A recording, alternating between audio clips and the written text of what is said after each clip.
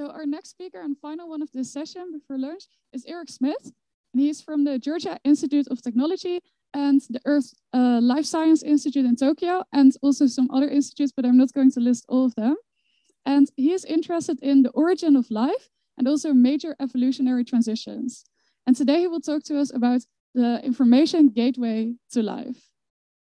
So whenever the setup is ready, the floor is yours, Eric. So while we're setting up, uh, use this time to thank the organizers very much for the opportunity to be part of the conference. Terrific content, fun, neat group of people.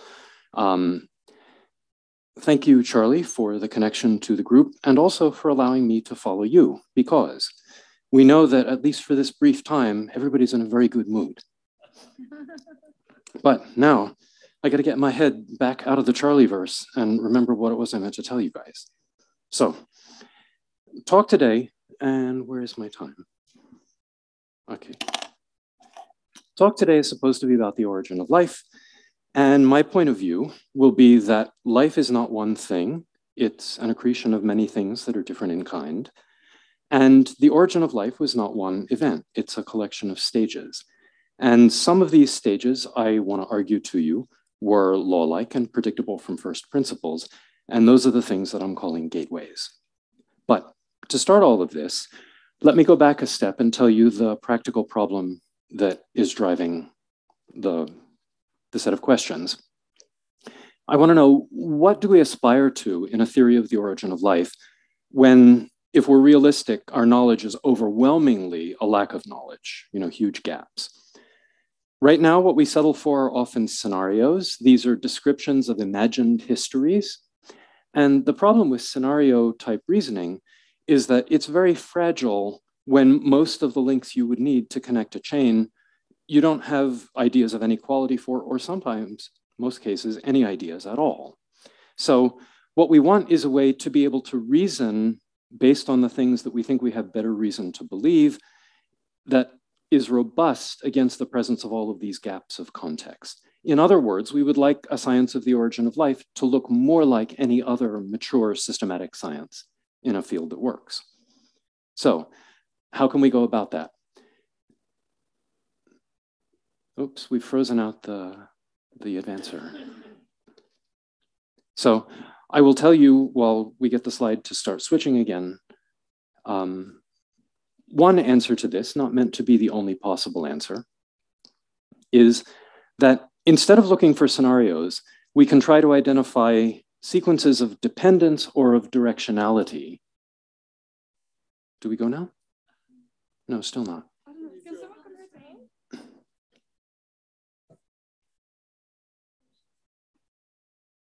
Oh, can you try now? I can. Okay, yeah, now we're back. Okay, very good. So we can look for dependencies or directionalities that we can derive, even if we don't know what the interval between them was or what the mechanism was for them. And we're looking for those that can be done or, or about which we can draw conclusions in the absence of much knowledge about mechanism. So let me give you an example of what I mean by this. Um, very well-known example. In 1961, at the first meeting to discuss the possibility for extraterrestrial intelligence, Frank Drake, to try to tame a conversation that he knew could readily get out of hand, tried to break the problem down into a sequence of different contingencies that one could identify even if one could not calculate the likelihood that each one had within the one above it. So, for example, in order to have a civilization, you first have to have stars form, they have to have planets, the planets must be habitable, then they do or don't ever form biospheres. In the biospheres, there is or is not intelligence, it is or is not technological, and then it does or doesn't survive. So the reason the Drake equation works is that behind it, there's a kind of, a, oh no, wrong one. Now I've given away the punchlines. So there's a Venn diagram. And that exists because the final condition is actually a joint condition of all of the previous, which means that the number or the probability of finals can be written as a chain of these conditional probabilities. And even if we don't know what the values are, we gain a lot from understanding the containment relation of the Venn diagram. Now, An area where a hierarchy of this kind has been incredibly important to our theory, even as we have had to adjust our understanding of mechanisms, is of course the 20th century theory of the hierarchy of matter. So very early on, and because we have the good fortune to live in a universe with a big bang, advancing time is also advancing cooling. So very early on, you have a quark gluon plasma where you have independent action of symmetry groups on quarks and antiquarks. You cool a little bit, that symmetry is broken so that you now have only joint transformations. And out of that transformation, out, out of that breaking of symmetry, you get heavy baryons and lighter mesons. But at the first temperature, still you're in a plasma of those free particles. If you cool a little bit more, then the exchange of the mesons between the baryons can condense them out and you wind up with nuclei. But of course, you're still in a, an electromagnetic plasma with respect to the electrons that are not confined. You cool a little bit more, that can condense and you form neutral atoms. And then from the atoms, you get molecules and condensed matter and so forth. So this theory exists because of another dependency relation, which is the chain rule for entropy. This is not the same kind of a containment relation as the Drake equation, but it is still a kind of containment relation in state space. So here, I'm not going to try to draw the equation for the entire sequence, but between any two stages in this, we have an important relation that to know a full configuration, we need to know its small scale degrees of freedom that are at higher energy and its larger scale degrees of freedom. We need to know how that state space can be populated by the system.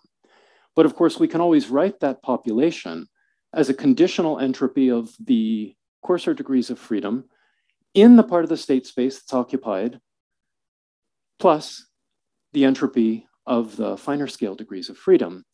And it is the presence of phase transitions that cause this entropy to be reduced and the part of the state space that you occupy to collapse into some corner that will then change the conditional entropy for subsequent organization. So in informational terms, phase transitions are two things that we're going to care about. First, they're thresholds, and second, they're scaffolds.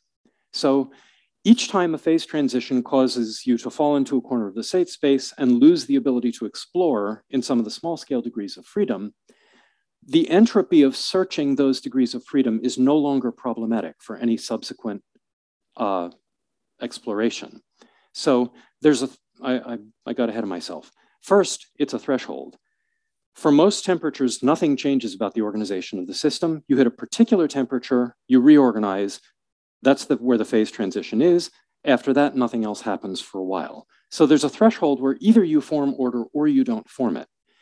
If you form it, then the entropy that's removed in the uh, high energy scale is no longer affecting the problem of exploration for order at the lower scale. But here's where it's a scaffold.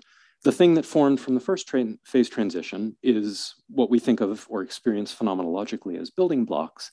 And the subsequent organization is limited to the assembly of those building blocks. So this is how we have a sort of an successive elimination of conditional entropy that underlies our whole theory of the hierarchy of matter. So, do those ideas apply to the living state? And if they do, how do we need to change them in the details from the things we know how to do in high energy physics? Well, first, life is inherently dynamical. It's not just frozen states, but it's frozen processes. That means that the entropy we care about is the continually encroaching sequence of fluctuations their ongoing elimination is what we experience as dynamical control. We have a theory of dynamical control, now more than half a century developed, called control theory, and it allows us to quantify what any controller can or can't achieve. So when we see in the world an attained state of order, that must imply that for every controller that's eliminating the incursion of entropy, the context for the controlled system must have placed it someplace where the controller is actually within its capacity to achieve order. Where we get dependence and directionality is by looking at all the different ways we can assemble contexts and control feedbacks such that there's always an adequate context to place each controller within the domain where it can function. And again, phenomenologically, we experience that organization of contexts and controllers such that the contexts provide paths of least resistance, and then the controllers do what it's easiest to do rather than doing something much harder somewhere else. So what would a context or a path of least resistance look like? For now more than 60 years, as we've come to understand more about the low-level building blocks of metabolism, it has been asserted by more and more people in more and more ways that the deep core metabolic reactions of life, which are universal across the biosphere and apparently go back to its beginning, certainly look like something that was prefigured in what it was easiest to do in chemistry. So the content here is, it turns out that everything in the biosphere is synthesized by a pathway that starts from one of 11 molecules, actually one of four or five among these 11. And it happens that there is a pathway that goes through the 11, the 11 that is a metabolic pathway. If we look at where there's variation in the biosphere, we find that there's variation in the ways you can fix carbon. I won't take the time to explain to you this diagrammatic, but the publications explain more. It's just a chemical reaction diagram in a sort of a computer-friendly notation. But of the carbon fixation pathways, they all must act, they all must be self-amplifying, like uh, Leo Szilard's famous chain reaction. And it turns out that four of the six known pathways, very possibly the only six that exist, are all either part of this same core, overlapping with it, or tightly linked to it. So it has been proposed that through a combination of their chemistry, their centrality, a variety of remarkable properties of this, these look like paths of least resistance that should have come up in geochemistry and been the easiest thing to do so that when higher levels like molecular control came into existence, they reinforced what was easiest rather than replacing it. That's of course an experimental hypothesis and its testing is still underway.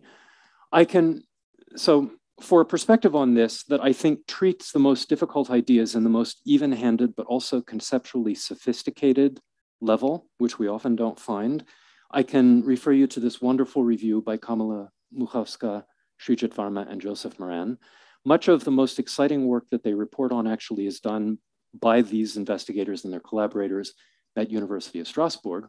And this is one of the plots from their review paper and papers before it in very simple systems that are meant to capture some of what should be going on in early planetary surfaces, they do in fact create multiple carbon molecules that pass through every one of these colored, uh, every one of these drawn molecules is in fact a biomolecule in that low level system that I showed you.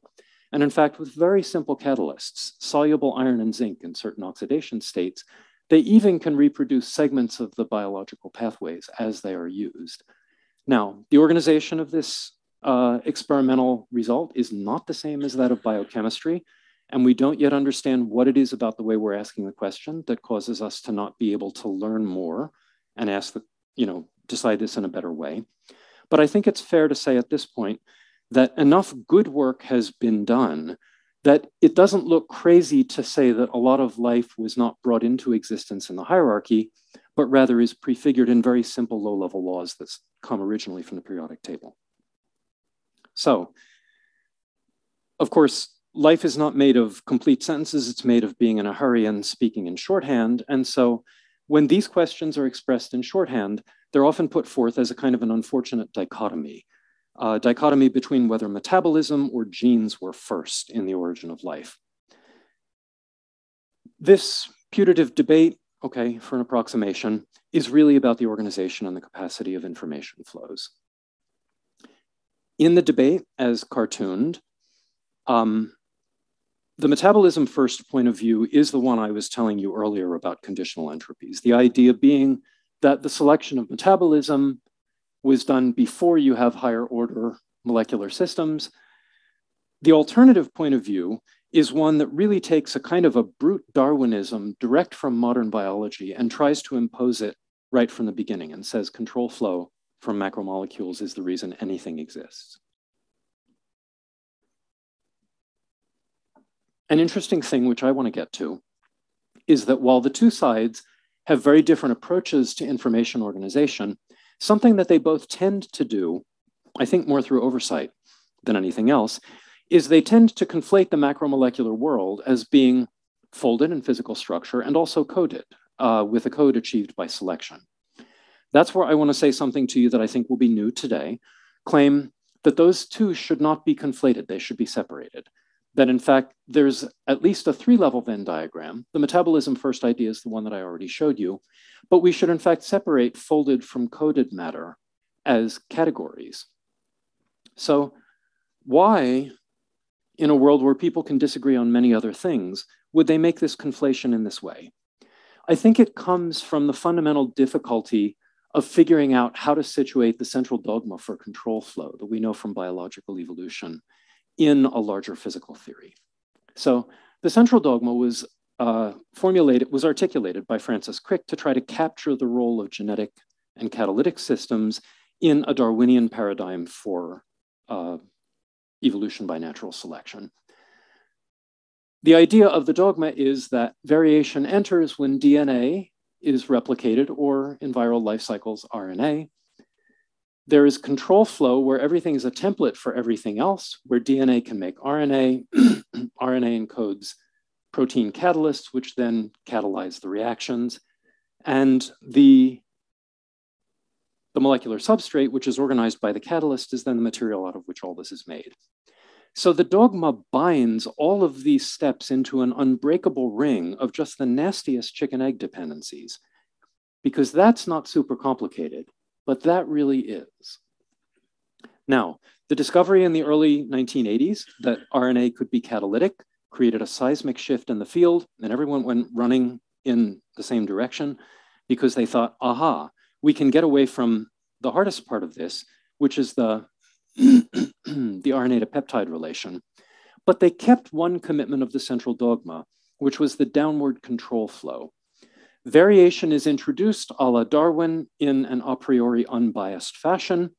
We have to wait until it gets to the expression of phenotype to decide whether it was good or bad, which means we need all of this material to generate phenotype. It is important in this that folding, which actually makes usable structures, has no agency. It presents sequences for selection, but it does not select the sequences within this Darwinian control loop that has been taken from modern life and sort of imposed on early chemistry. The discovery of RNA catalysis may allow us to shorten the loop, but it does not tell us whether it should be broken. So the next question, should we, and if so, can we, break this ring at folding? So let me give you two uh, approaches to the answer. This one's just kind of evocative. Think about states of matter. Think about condensed matter, solids.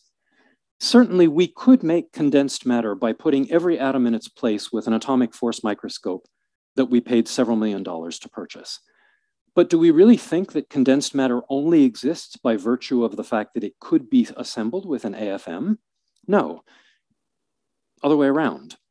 And yet we do think that way about folded proteins, folded RNA. We contextualize them only as consequences of sequences which are produced by a selection model. So do we really mean that, or are we just being sort of thoughtless and hurried? But let me give you another argument that I think is better. This one from control theory. Leslie Valiant wrote a wonderful sort of early stage book and a paper leading up to it on what he calls PAC, or probably approximately correct learning. Valiant starts with an observation that we all know, which is that selection is the same as Bayesian filtering, which is the same as reinforcement learning. He goes on to say, or to conjecture, that the learnable concepts are a bounded category, kind of like the computable functions are a bounded category. And because selection or reinforcement learning is not a strong algorithm, it's actually quite a bounded category. So there's a lot that can't be learned. So the way we would apply this is to say, if you want to say that something came into existence plausibly in a random system, then you need the variety of your controller, to use a Ross Ashby term from the 1950s, the diversity of system states that it can sense, discriminate, and act on, you need that variety to be within the controller you can actually make. So What is it that reduces the required or the requisite variety of controllers? It is for the controlled systems to be, for instance, constrained a priori, or to have self-governing mean regression over some of their degrees of freedom, so those don't have to be regulated from the top, or concurrently acting processes so that multiple controllers are acting collaboratively. So where would prior constraints come from in folded matter? Well, some of them can come from the metabolism that we already talked about. So really terrific uh, review paper by Runnels et al. Um, senior author is Loren Williams, and I'm going to show you several papers from Loren's group, says that in fact, the monomers that ever form folded structure are a quite remarkable subset. They're the polypeptides, which make beta sheets and alpha helices. They're the polynucleotides that we know of in RNA and DNA. And then they're polysaccharides that make sheet-like starches. What they all have in common is that the medium strength bonds, the hydrogen bonds, are present in sign and in number so that when these are arranged in space, every bond that exists to be saturated is saturated by another bond in the complement molecule.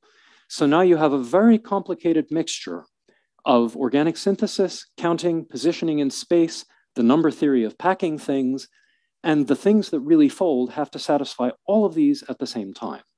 So there you have a lot of information in what your synthetic system provides before we've ever talked about how folding happens. When we do talk about how folding happens, that turns out to be a hierarchical entropy rejection funnel in its own little world of rules, kind of like the chain rule in microcosm that we talked about earlier.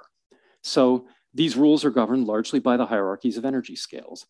If I take monomers and they're free in solution, at some dilution, they won't aggregate because there's too much entropy. If I bond them in a chain with a strong covalent bond, that takes out enough entropy that now the favored state within the molecule can be to aggregate, but not necessarily to make a fold. The next thing that acts, slightly lower in energy, but first because it's cooperative, is that the sequences that I make things out of can be more or less soluble and if they're properly arranged, the insoluble ones in water group together so that they minimize the exclusion energy of water. That will collapse you to what's called a molten globule phase on the way to a fold. And then if the residues are right, the monomers are right, the hydrogen bonds are available, then that molten globule can anneal under the weak force of the hydrogen bonds.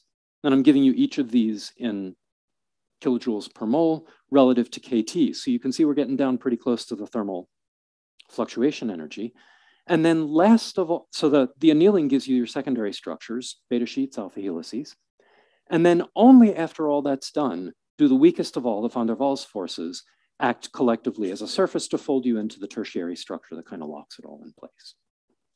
So now we can ask, how much information do you need to make use of this funnel for folding, which brings us to 15 years of remarkable work done by Michael Hecht to provide a partial answer to that question. Hecht's system says, look at the uh, arrangement of an alpha helix. This is looked at end on, on the, the spiral, and say, what periodicity could I put just hydrophilic hydrophobic residues in so that the hydrophobic ones can all share this kind of folded center and the hydrophilic ones can face out into water. And can I make real folds that way? The answer is yes, but the periodicity is this.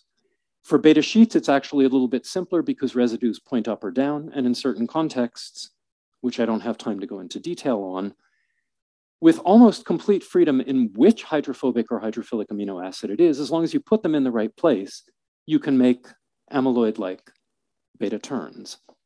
So what Hecht has done is taken the point of view that I now, I can just have broad equivalence classes of what the chemistry of my amino acids is. I have a relatively local condition for what the correlation length is. And out of that, I can get folds. But there's still a fair amount of information that he needs to provide because he needs that local condition to be repeated. So it's a kind of a purification argument, a little bit like what we have when we say that we're using the right monomers and not the wrong ones. But you may be able to do better. It's so great to talk to an audience with general relativists in it because I can tell you, and or I don't, I don't, don't need to make the argument to you that the coordinates that we use may not be the geometry that the system cares about. So my coordinates in space for an alpha helix are the straight Euclidean lines. And in those coordinates, it's 3.6 residues around a turn to make an alpha helix. And that's terrible because it's not an integer and it's not small. And that's why Hecht has this very complicated periodicity that he needs to maintain, like six or more. But if we look at the actual cores of small molecules, this beautiful thing is called a TIM barrel. It's an eightfold repeat of alpha helices, red, beta sheet, yellow. And on one of these, I took out the cartoon so I could show you the backbone, and then I pull that up here. This little thing is kind of the hydrophobic core of the core. And we find this motif over and over in all the oldest and all the simplest folds. But the world that those carbons live in is a world of tetrahedra bound in chains, and that world twists. And in the twist, the natural periodicity in the helix is four, and the natural periodicity of the beta strands that couple to it is two by two. And I don't need to tell you that four is really neat because it's an integer and four is two times two. So all of a sudden, the periodicity that worked for beta, if we can coordinate that twice, starts to become periodicity that looks relevant to getting the most molten core for one of the oldest folds. So I think we can argue that finding, making use of folds as a funnel is not vastly improbable in highly random libraries. But what would we need to, to say that this was that this existed historically or that it did important work that we can take off of the shoulders of a Darwinian loop? Well, we would need evidence placing it before translation, which is when coding is expressed. And we would also need at least a putative mechanism by which folding could actively select sequences and not just passively present them. So that's what I'll show you now. This is the ribosome. This is where everything that's hardest in biology is all brought to the height of tension. This is a significant fraction of a million atoms, RNA, peptides, metals, water, every atom in its place. I want to argue for you that it's also the place where we have the most empirical evidence for how we maybe untie some of this knot.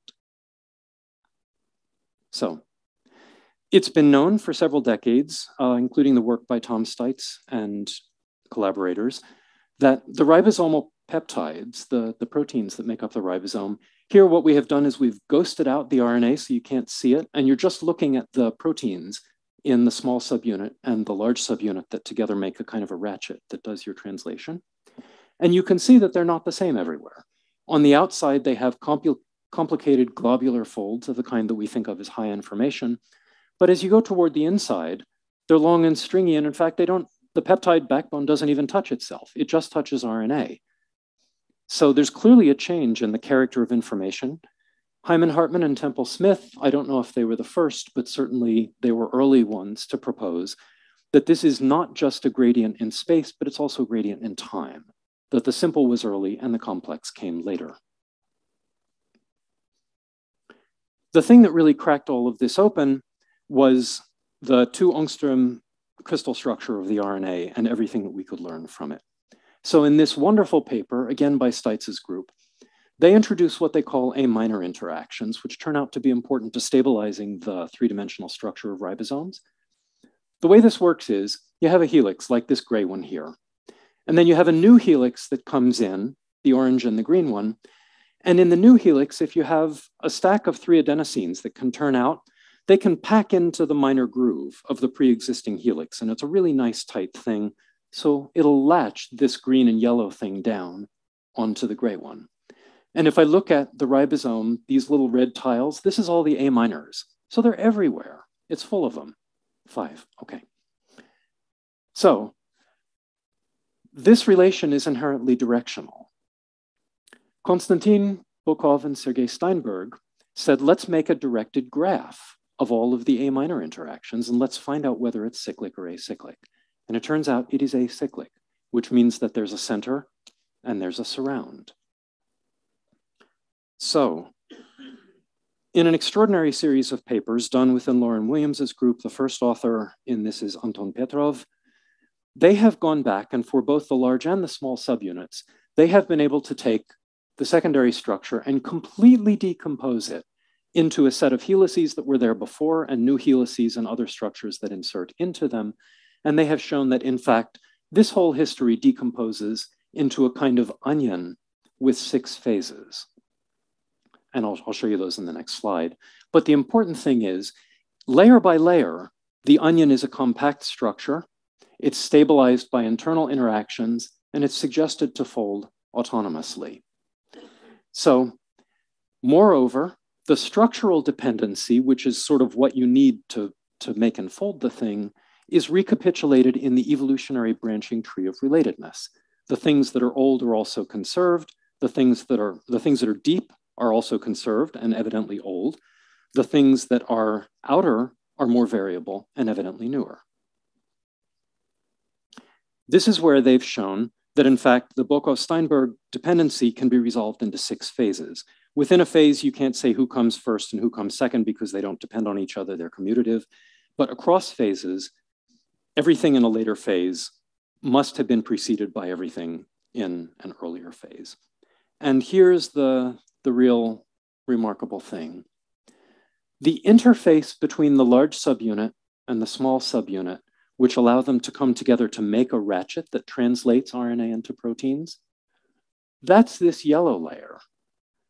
These two things first met each other, and there was a translation system at the end of the green layer and the beginning of the yellow. So we have all this organization from folding at a time when we know that what it was doing was not translating. If we look at the peptides that I showed you to start, it turns out that their gradient follows the phases of the RNA, it groups with them. And in the deepest, lowest, and oldest, they're long and stringy and they get more complex and we would think of as having more information conditions with the beginning of translation beginning to make the complex globular ones possible as stable parts of the lineage. So in all of this literature, these are fine, careful scientists. They know what they mean when they talk about structural dependency. They can back up everything they say about evolutionary relatedness. They typically do not like to commit to a proposed dynamic that would have caused all of this. The reason being many dynamics are confounded, and so it would require a big speculative leap to, to propose one and not others. That's why I'm here to talk to you, because I'm not as careful. So among the confounded possibilities, to show you how bad it gets, could be that everything in the biosphere came from one molecule. We can't rule that out. Or it could be that it's Darwinism all the way down, which is kind of the RNA paradigm that I showed you before. But I think a better prospect for this is that processive folding was a kind of a kinetic filter that distilled sequences in attractors, a little bit like the composomes that Charlie mentioned from Doron Lancet and Daniel Segre that the early branching effects that we see in the phylogeny have to do with the growth of the basins, and that the early large and small subunit functions were kind of just hitchhiking on these things that existed for the sake of folding, not for the sake of some downstream function.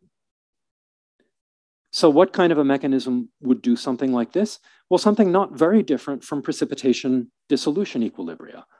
Donna Blackmond has done a lot of work on taking a mixed solution of small molecules with different handedness, different chirality, and showing that you can pump out that entropy of mixing just using the binding energy to form crystals that are chiral.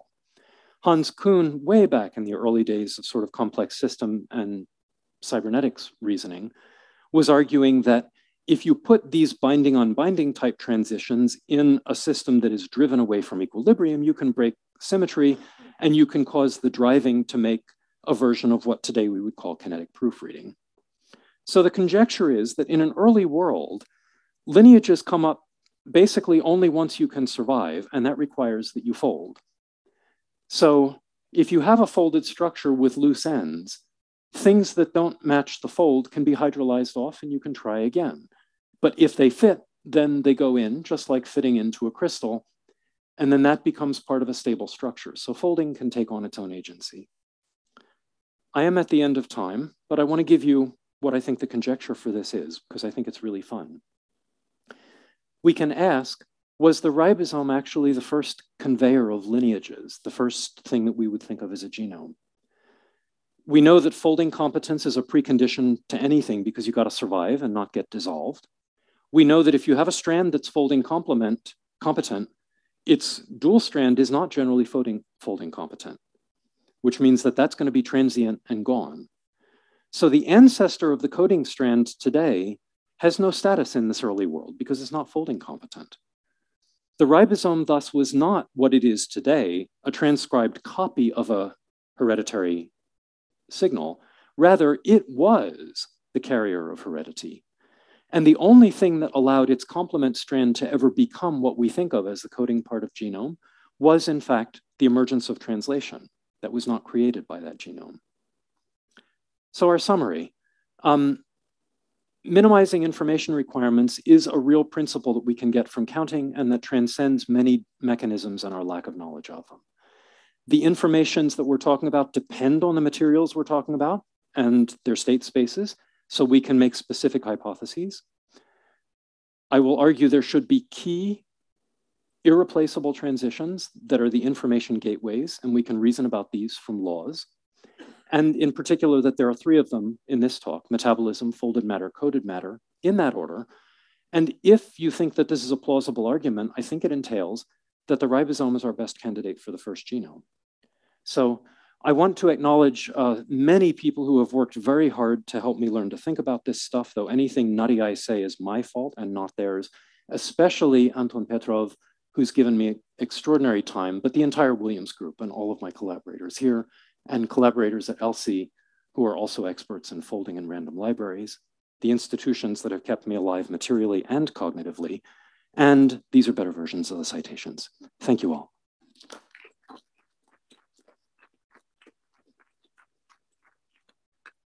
Thank you so much, Eric. That was really fascinating. So do we have questions from the room? Yes. Microphone is on its way. I didn't see who was first. Yeah. yeah, you, you talked about the ribosome being the first genome or something, and then, the, but earlier you said that the the two pieces, the large, the LSU and the, the small unit, um, had features that you said was not meant for translation, as if you could figure out what it was doing before they became, what these two pieces were doing before they became part of the ribosome.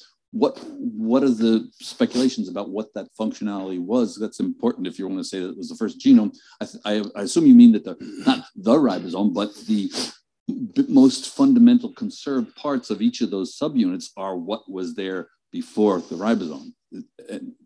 And and after it became a translation apparatus too, through that whole transition. But yeah, terrific question. Um, it is believed by a great many people that what the large subunit was was a general purpose condensation catalyst. Polyesters, polypeptides, ester amide exchange, these kinds of chemistry that are ubiquitous in the deepest and oldest parts of everything having to do with nucleotide and polymer formation. The small subunit seems to be believed to be related to RNA coordination, possibly helping template directed ligation. That seems to be more open. The two are rather different in their architecture, in their RNA structure, their domain structure, and their relation to peptides. There is an interesting thing that, for the sake of time, I skipped over in the slide. The structural center in the 2014 paper by Petrov et al is not the same as what we think of as the functional center in either the large or the small subunit. In the large subunit, it's the peptidyl transfer center. I forget what it's called in the small. Um, they choose their phases to start with the functional center. I'm curious whether we can revisit that and find out whether the structural center could be a good place to start. And we see even those earliest functions as hitchhikers in a kind of a hailstone world all open. All of this needs to be turned into proper hypotheses and then tested through a combination of bioinformatics and actual synthesis. Thank you. Thank you so much. Unfortunately, we don't have time for more questions now, but you're of course free to discuss further over lunch and the rest of the conference. So let's thank the speakers again for these great talks that we've had this session.